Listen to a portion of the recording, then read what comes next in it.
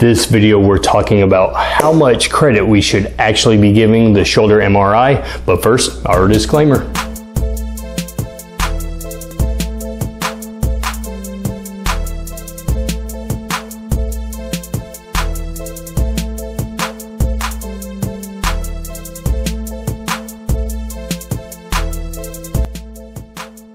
Mike Matthews, physical therapist here with the PT 411. Thanks so much for joining me. If you already haven't done so, make sure you follow, like, subscribe, Facebook, YouTube, Instagram, TikTok, and Twitter. Also, make sure you check out thept411.com.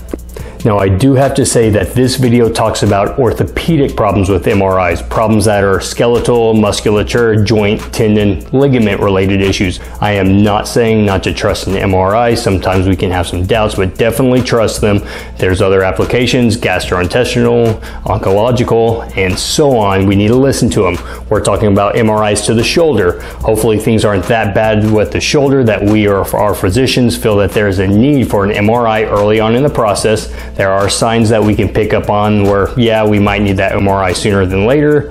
And MRIs can give us a good picture, that visualization of what the shoulder looks like internally. And the MRI has been used as the gold standard with diagnosing problems and injuries. Yes, the MRI can help with that, but it should not be used as the gold standard. It's just one tool, one aspect of evaluating problems. MRIs definitely, definitely have their limitations. They are very sensitive. This means that they are very good at pointing out everything that is potentially a problem, everything that might be causing our complaints, but they are not specific at all. They cannot tell us what is actually causing our pains and our limitations. False positives and non-symptomatic findings do show up. Now, these studies show that degeneration and tears to many different structures and tissues of the shoulder show up in asymptomatic people.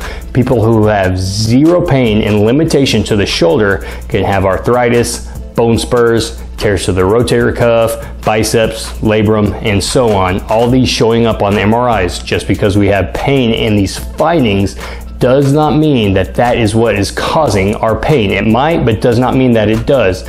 Now, these studies show there is an incidence of false positives, MRIs that show problems that end up not being there when looking into it with other imaging techniques and even surgeries. And I know that this is somewhat anecdotal, but over the last 10 11 years, I've seen many people who have had MRI results that the surgeon did not see when they went in there for that repair or that cleanup.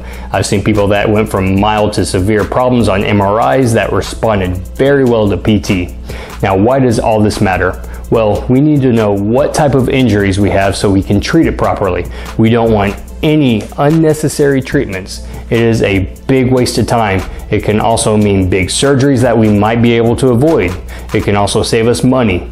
Now, the guys at Get PT First found out that those who try PT before getting the MRI on average save just shy of $5,000 for their care. The biggest thing that we can gain out of all this is we can avoid fear and fixation. As an example, let's say we're having someone with their shoulder pain. Now they end up getting an MRI, it shows a rotator cuff tear. Now they are fixated on that. They want the treatment specifically for that, whether it be some PT or surgery. And after that, any other input or diagnostics are just white noise. They get ignored in favor of the first information that is given. Same with someone with arthritis. Now we have someone hyperfixated on the arthritis diagnosis, which cannot be fixed with PT, but that might not be the problem. We take them through the examination, determine it's possibly something that therapy can actually help with, but the individual does not get on board. They stay fixated, they stay focused on the arthritis and the pain. They end up avoiding exercise, they avoid movement, they end up don't seeing therapy through if they try it. And over time, their status deteriorates. They keep blaming that regressed status on the arthritis. Now, basically, what has been seen cannot be unseen. You can tell someone about an elephant, then tell them to stop thinking about it, and they'll still be thinking about that elephant. The big takeaway message here it is liberating to find out that many different things can be treated with very, very simple treatments and exercises. We have much more control over our bodies than we actually think. Don't overthink the results of an MRI Don't let a working diagnosis sentence you to a life of fear and activity avoidance. Give therapy a try. You may be surprised. Again, I'm Dr. Mike Matthews, physical therapist here with the PT411. Thanks for joining me.